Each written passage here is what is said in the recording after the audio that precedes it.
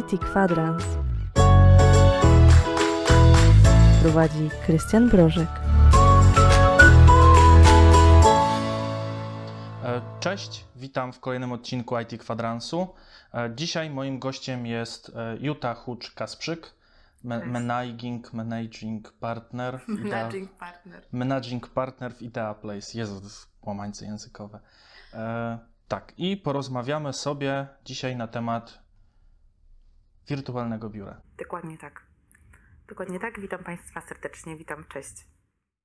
E, to powiedz nam, czym się w ogóle zajmujesz? E, W dużym skrócie zarządzam przestrzenią biurową zlokalizowaną na Placu Solnym 15, która ma e, bardzo wdzięczną nazwę Idea Place.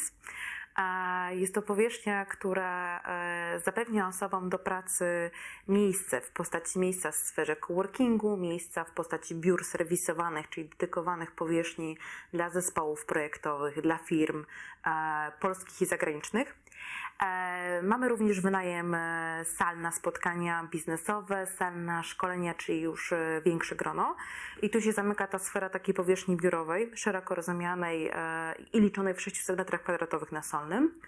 I drugim aspektem naszego działania jest wsparcie wirtualne dla naszych klientów. I w ramach tego wsparcia wirtualnego posiadamy tak zwaną usługę wirtualnego biura określenia, które się przyjęło i utarło w polskim e, słowniku i wyrażeniach, ono funkcjonuje, ale zaraz też powiem, dlaczego nie lubię tego określenia, bo jest ono w przypadku Idea Place mm, dość nietrafionym określeniem. I oprócz tego wsparcia e, wirtualnego biura, jeszcze mamy usługę wsparcia asystenckiego, czy jakby dopełniamy tą e, sferę, w której zdalnie wspomagamy naszych klientów. Okej, dobra, to w takim razie czym jest wirtualne biuro i dlaczego nie lubisz tego określenia? Nie lubię tego określenia i zacznę od tego, ze względu na to, że w słowie samym wirtualnym jest już konotacja, że to jest coś, co nie jest w rzeczywistości, nie funkcjonuje. Tego nie da się dotknąć, poznać, zobaczyć, bo z założenia powinno e, funkcjonować tylko w świecie wirtualnym. Ale tak nie jest, bo e, biuro na, na istnieje, funkcjonuje. Jest e, związane ono z, powierzchnią, więc rzeczywiście i namacalnie jest miejsce, w którym e, ludzie w centrum takim biznesowym mogą korzystać z różnych usług w różnym natężeniu, z częstotliwością, e, w jakiej potrzebują. I wirtualne biuro jest tak naprawdę usługą bardziej e-biura w znaczeniu takim, że zdalnie komunikujemy się i współpracujemy z klientem, któremu dostarczamy namiastkę biura własnego adresu do rejestracji firmy, adresu, w którym prowadzi swoją działalność, swoją spółkę, miejsca, w które, do którego trafiają jego klienci i petenci. I zawsze ktoś w tym miejscu jest i czeka w imieniu tej firmy na obsługę klienta, miejsca, do którego trafia korespondencja tego klienta, który może spokojnie liczyć na to, że wszystkie listy, które docelowo są kierowane do firmy, znajdą e, odbiór w naszych rękach, to my zajmiemy się tą korespondencją, informując klienta o tym, co wpłynęło do, e, do konkretnej firmy. Jeżeli klient sobie życzy, skanujemy treść, w związku z tym klient, niezależnie od tego, gdzie przebywa, e, w różnych miejscach w Polsce, w kraju, tak, na, na świecie, jest w stanie w różnych też strefach czasowych odbierać tego maila i wiedzieć tak naprawdę, co zostało skierowane e, w formie pisemnej e, do konkretnej firmy i rozporządzić tą korespondencją dalej, jeżeli jest potrzeba zarządzania tą korespondencją. E, W przypadku na przykład pism urzędowych. To jest istotne. Więc ten wirtualny aspekt zawiera się bardziej w słowie i w znaczeniu takim, że się komunikujemy w formie najczęściej mailowej lub telefonicznej. I tu jest ta kwestia bardziej wirtualna. Natomiast biuro funkcjonuje fizycznie, stacjonarnie dla naszego klienta i ma być dla niego odciążeniem w tym, że to właśnie klient nie musi spędzać czasu w jednym konkretnym miejscu, żeby móc te podstawowe kwestie biurowe sobie zorganizować i zapewnić. W związku z tym ma bardzo dużą swobodę w prowadzeniu i rozwijaniu swojej firmy. Jest w stanie podróżować e, w celach służbowych i prywatnych i mieć e, przekonanie, że tutaj na miejscu gdzie jest zarejestrowane jego, e, jego biuro, jego firma pod tym adresem. Zawsze jest ktoś, co, kto jest w stanie obsłużyć go w tym aspekcie administracyjnym. Okej, okay, czyli jak mam na przykład takich cyfrowych nomadów, którzy ostatnio się stali trochę bardziej popularni, mhm to mamy gwarancję, że nie przeoczymy żadnego pisma z Urzędu Skarbowego i, i będziemy mogli tak. sobie spokojnie wrócić do Polski. Dokładnie tak. I to jest w takiej właśnie wersji, e, naj, najpro, takim najprostszym rozumieniu, to jest właśnie e, sama kwestia korespondencji, tego, że zawsze ktoś odbierze ten list polecony, że nie trzeba się martwić o awizo, które traci 14, e, po 14 dniach e, ważność, tak? Czyli jakiś nam list ważny ucieka i nie wiemy, co to jest w sumie za list i od kogo jest, e, e, przez kogo jest nadany. Mm, e, ale to też dotyczy wizyt klientów, którzy niejednokrotnie pod adresem, bo adresy są oficjalne, znane w internecie, się pojawiają i potrzebują omówić jakiś temat, dokonać transakcji, e, chcą się spotkać bezpośrednio, więc tu jesteśmy już na pierwszym froncie spotkania z, z klientem i odpowiednio zarządzamy komunikacją tego potencjalnego klienta czy petenta e, i docelowo firmy, do której e, ten klient, e, ta osoba chciała się e, trafić, chciała się z, z, z tym kimś skontaktować.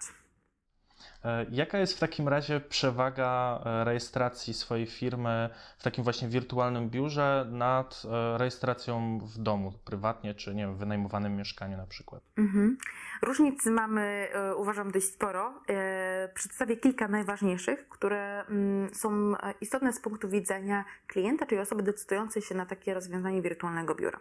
Pierwsza to jest kwestia mm, ochrony swojego adresu prywatnego.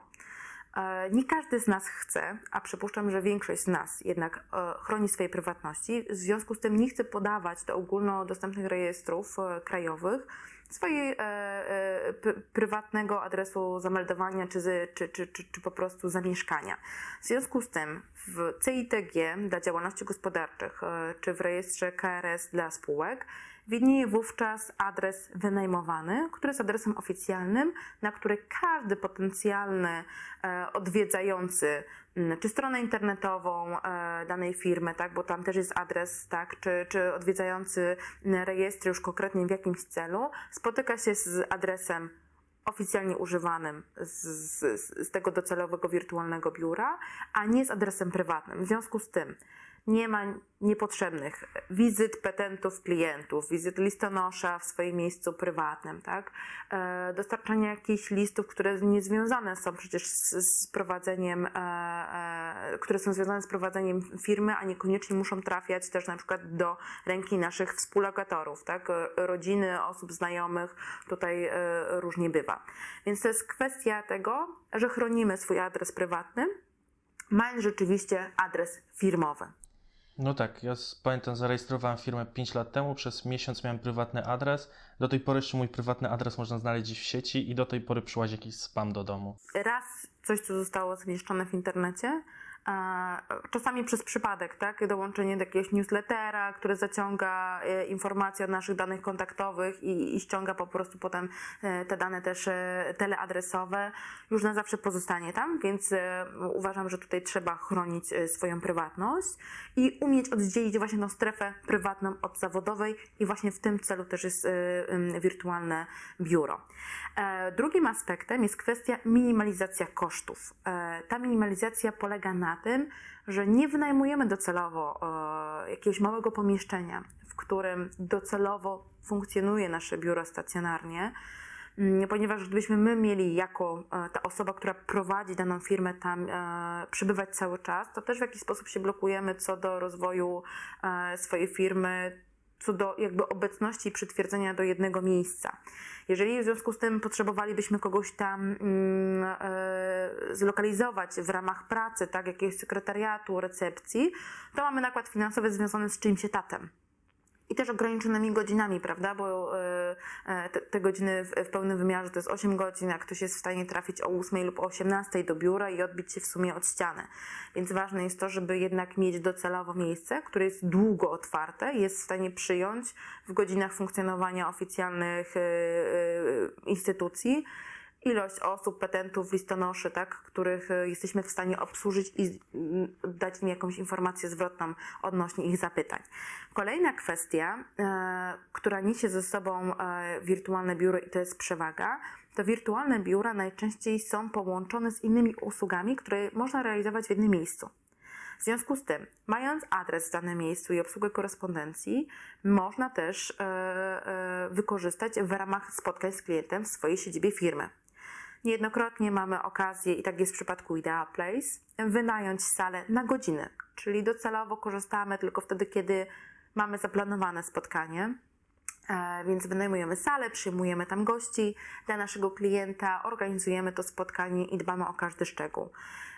Klient wobec tego zyskuje dodatkowy atut, czyli w tej lokalizacji oprócz adresu ma możliwość też e, wynajmowania powierzchni biurowej. Jeżeli ma ochotę skorzystać z miejsca do pracy, korzysta z takiego miejsca w sferze coworkingu. Może też skorzystać w jakimś czasie korzystania i współpracy z Idea Place, z miejsca, które jest dedykowane do pracy e, dla zespołu w ramach biura serwisowanego. Więc wszystko ma skomasowane w jednym miejscu i korzysta tylko wtedy, kiedy taka potrzeba istnieje. E, I kolejnym dużym atutem dołączenia do, e, do takiego miejsca, które daje możliwość rejestracji, ale też pozostałych usług, jest dostęp do społeczności. I ta społeczność jest rozumiana e, w, w kategorii wszystkich klientów każdej usługi w danym miejscu, których można spotkać bezpośrednio lub z którymi możemy my, jako zespół zarządzający, tak pokierować kontaktami, żeby te osoby już bezpośrednio się poznały, ze względu na to, że szukają wzajemnie do pracy w jakimś projekcie e, konkretnego specjalisty lub e, znamy branże, które, w których mogą się uzupełnić albo potrzebują do wykonania jakiegoś zlecenia kogoś z grona naszych specjalistów, których my polecamy. W związku z tym już w jednym miejscu, oprócz usług dodatkowych, posiada także kontakty, bazę wiedzy, możliwość wymiany doświadczeń i też w aspekcie towarzyskim osób, które y, mogą po prostu dostarczyć y, y, dużo ciekawych rozmów z którymi można wyjść wspólnie na lunch i, i poszerzać jakieś też swoje horyzonty i myśleniowe, i, i te towarzyskie, bo na tym też się bardzo często kończy. Mm, okej. Okay. Mm, bardzo często słyszę właśnie w, a propos wirtualnego biura, że ludzie boją się ze względu na urząd skarbowy. Jak to w ogóle wygląda? Czy jest czego się bać? No bo rozumiem, że to chyba jest legalne, skoro działacie. tak, jak najbardziej. E, e, usługa jest legalna i ona od zawsze jest legalna. E, my funkcjonujemy już niespełna 10 lat e, i od takiego czasu prowadzimy e, usługę rejestracji e, pod naszym adresem. Mm, I oczywiście, że w, w, trakcie funkcjonowania różne były etapy, w których na przykład odgórnie e, rząd regulował sprawę e, prawną korzystania z takich usług i też e, sposób, w jaki urzędy skarbowe mają weryfikować podmioty, które są zlokalizowane w tak zwanych wirtualnych biurach, mm, ponieważ doszło do pewnego precedensu, który mm, z powodu łatwości dokonywania rejestracji przyniósł e, niestety negatywną opinię e, e, wirtualnym biurom, e, w których tak zwane firmy krzaki dokonywały rejestracji. Ponieważ chciały mieć miejsce, które będzie innym miejscem niż adres domowy właśnie, przerzucały y, swoją, e, e, swoją siedzibę do, do takich miejsc wirtualnych, niejednokrotnie nie wywiązując się potem ze zobowiązań finansowych wobec e, wobec takiego biura, ale też wobec właśnie urzędów finansowych. Stąd takie negatywne reperkusje i negatywny wydźwięk. To oczywiście prawnie zostało w sposób dość uważam e, konsekwentny i, dobry, ujarzmiony. Stąd też tutaj kwestia tego, że w momencie, w którym potrzebujemy zarejestrować podmiot, najpierw trzeba mieć umowę, którą trzeba na przykład przedstawić w KRS-ie, żeby mieć e, tytuł prawny w ogóle do, do korzystania z takiego adresu, więc mamy to w pewien sposób uporządkowane i jest to sformalizowane. Pytanie, czy się bać e, e, takiego w ogóle kroku, podjęcia takiej decyzji właśnie w perspektywie tego, że Urząd Skarbowy negatywnie patrzy. Uważam, że już nie ma teraz takiej nagonki na wirtualne biura, ale to też jest wynikowa tego, że wirtualne biura w dużej mierze konsekwentnie pracują na swój wizerunek. I starają się, tak jak my robimy, poznać swoich klientów, nie podpisywać umów zdalnie, tylko zobaczyć swojego klienta w siedzibie firmy, porozmawiać o biznesie, o perspektywie współpracy, o zasadach, które nas będą łączyły, o tym, że ta współpraca jest poważna, że, że należy traktować regulacje naszych praw i obowiązków w umowie z, taką, z takim należytym szacunkiem i e, ta postawa powinna być partnerska z jednej i z drugiej strony. I też przede wszystkim nie iść na akord, e, a na jakość tych klientów, czyli zweryfikować klienta, tak? przygotować do, do spotkania z klientem, wiedzieć, czy, czy rzeczywiście mamy e, okazję podjąć współpracę z kimś, kto poważnie myśli o, o nas jako swoim wyborze, czy tylko traktuje nas jako właśnie takie tymczasowe rozwiązanie, które niekoniecznie zakończy się pozytywnie. Więc tutaj to jest też duża doza ryzyka i niepewności. E, dlatego warto się e, zgłębić nad tematem tej, tej relacji biznesowej i, i poświęcić czas na poznanie klienta. E, ważne jest to, jaką markę się zbuduje. My jako Idea Place od lat sukcesywnie pracujemy na, te, na tę reputację i wypracowujemy sobie też relacje z miastem, między innymi też z urzędami, a przede wszystkim z urzędem, pod który podlegamy, ponieważ zaprosiliśmy urzędników do nas do biura, pokazując, że nie jesteśmy wirtualni, więc jakby ta idea um, nieuchwytności klienta u nas nie istnieje. Nasi klienci oczywiście w sposób e, tymczasowy korzystają z jakichś rozwiązań stacjonarnych w biurze, ponieważ w większości czasu ich po prostu nie ma we Wrocławiu albo w tej lokalizacji. Więc e, u nas Urząd Skarbowy już bywał i zaprzestał bywać z tego powodu, że mają do nas zaufanie.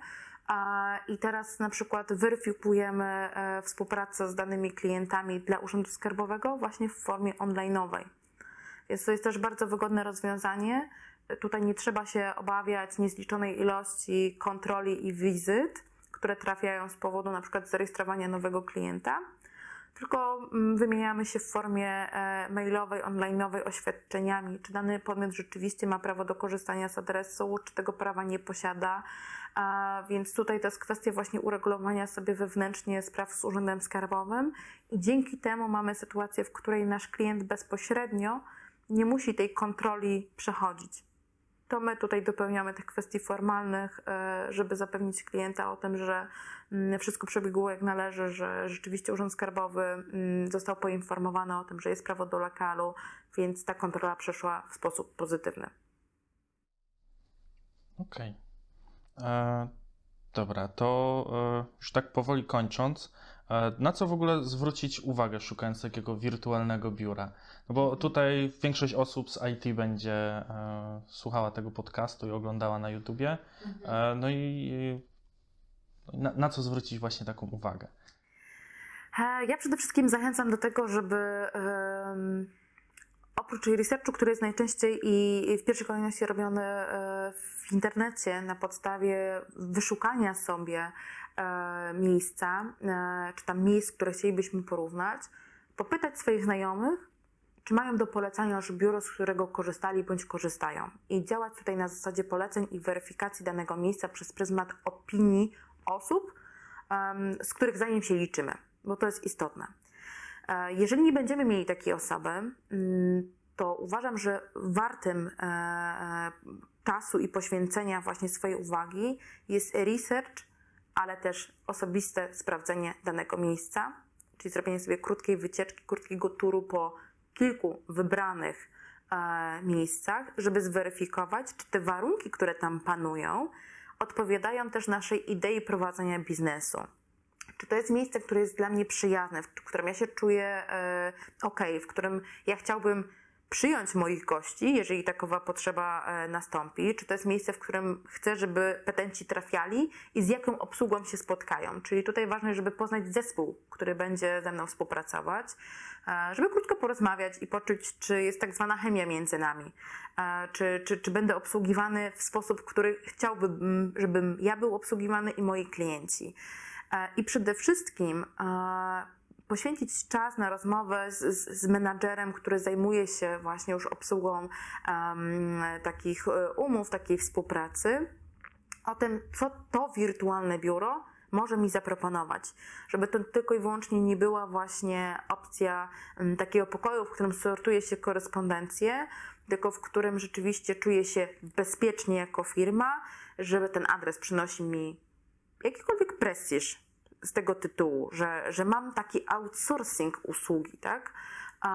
I, I to jest ważne, żeby poświęcić ten czas na taki research, na pierwszy kontakt, na takie poczucie, że to miejsce rzeczywiście jest dla mnie, ja się w tym miejscu będę czuł dobrze, przecież będziemy ze sobą e, współpracowali, będziemy ze sobą pisali, będziemy dzwonić, będą różne sytuacje, w którym ja się po prostu czuję zaopiekowany jako klient i miejsce, do którego się mogę zgłosić, jeżeli mam jakiś e, inny problem, inną sprawę do rozwiązania e, i będę mógł liczyć na wsparcie, e, na to, że ktoś mi coś będzie mógł zaproponować albo skontaktować z kimś innym, czy takie miejsce, które będzie w stanie mi rzeczywiście dać coś więcej niż sam adres. To jest taka moja złota rada, żeby się trochę pochylić nad tematem i, i sprawdzić samemu, jaki ten adres w rzeczywistości jest. Okej, e, ja na pewno mogę polecić Idea Place, bo sam korzystam. Dziękuję E, bardzo. W tym miesiącu stuknie 5 lat, znaczy jak my to nagrywamy, bo to będzie miesiąc później puszczane dopiero. Dokładnie e, tak. Dokładnie No, tak. e, tak, 5 lat. I jedną z fajniejszych rzeczy, która mi się podoba, to jest sztuka w biurze. Macie O, tam tak, obrazy, proszę. tak, i można sobie popatrzeć na różne rzeczy. Szczególnie, nie wiem, z 3 lata temu była pani w kukurydze, do tej pory u mnie w domu wisi taka replika jakby.